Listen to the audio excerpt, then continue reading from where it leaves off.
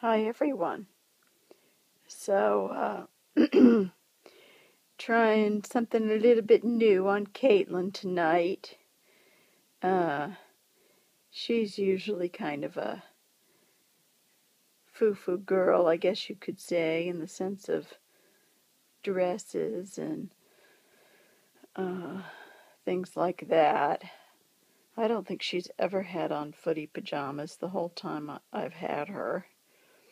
Um, but I had these um, pajamas. They're like a two-piece pajama set. Um, you could see like her onesie under here. Um, the pants and the little top here are separate. Um, you got elephants all over them and little bows on the feet and bow here. Um, I guess they're flying elephants. Man, I guess those are like wings or something. I don't know what's up with that. Or maybe it's their ears. I don't know. Anyways, um, trying these out on Katelin. She hasn't had pajamas like this ever.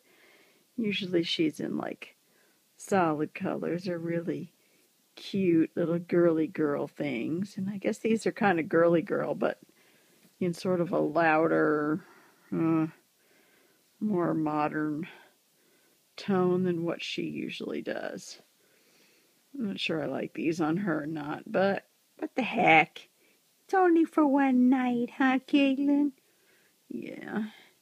She's got a pretty uh, passy and hairband that go with the the uh, aqua color elephants.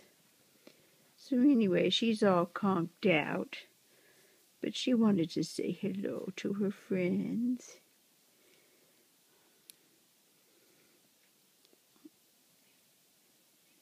She's going to go to sleep now. She's very, very tired. I'm not so sure if the elephant pajamas are going to stay on very long. Maybe only one night. Maybe these belong on Marlowe Rose.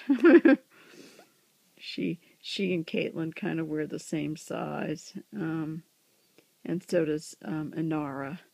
These might look better on Inara too. I don't know. Anyway, so we'll just see what happens. Okay, night night, everybody.